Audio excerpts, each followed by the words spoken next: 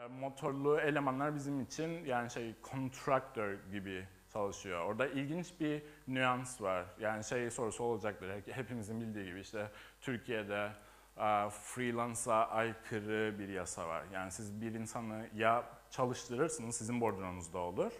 e, Ya da ondan bir fatura alırsınız, onun bir şirketinden. Yani ona freelance olarak çalıştırmak mümkün değil. Birkaç tane exception yapıldı işte.